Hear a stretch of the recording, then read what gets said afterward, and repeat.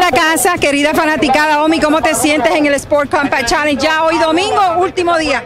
Gracias a Dios, todo bien, trabajando fuerte aquí para representar al equipo y a la gente de Centro de Florida y Puerto Rico. Los mejores tiempos del Jovian en el día de hoy, ¿cómo estamos en el ladder? Cualificamos quinto en el evento con 738, 192 millas.